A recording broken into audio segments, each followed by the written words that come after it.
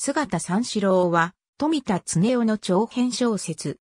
柔道創生前後の明治時代を背景に、実在の人物をモデルとした柔術家、柔道家及び実在の政治家らを織り交ぜた登場人物により、様々な人間模様、柔術、柔道等の戦い、歴史的事件を取り巻く人々などを描く。主人公の姿三四郎は、会津に生まれ、明治15年、17歳で上京した。これは実在の柔道家で、行動館四天皇の一人、西郷四郎の来歴と全く同じであり、西郷がモデルだと言われる。三四郎は、学士の矢野正五郎の柔道場に入門し、天才児と言われた。他の柔術家やボクサー、空手家などに勝利しつつ、人間として成長してゆく。得意技は山嵐。両移り新東流の柔術家、村井半助との試合、右京が原での檜垣玄之助との決闘、峰の薬師での檜垣鉄心、玄三郎兄弟との決闘、スパーラのウィリアム・リスターとの多流試合、砲兵交渉、エコーインでの琉球人の艦長との格闘、西日本を代表する柔術家、津久井上介との格闘などが有名で、峰の薬師の決闘の地には石碑も建てられた。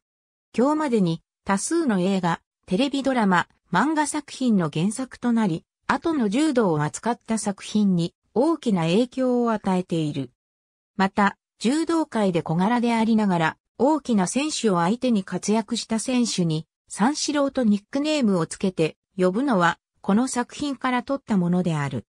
2017年に作者の没50年を迎え、日本では当時の著作権法に基づいて翌2018年元日に著作権が消滅。パブリックドメインとなった。1942年9月に、金城出版社から、姿三四郎画の章まで、1944年7月に、増進堂から、続、姿三四郎が出版され、それらの公表の後を受けて1944年から、東京新聞に連載された、12話、不釈の章から、明星の章までを1945年に同誌に掲載した続12はことの章から落下の章までを含んでいた。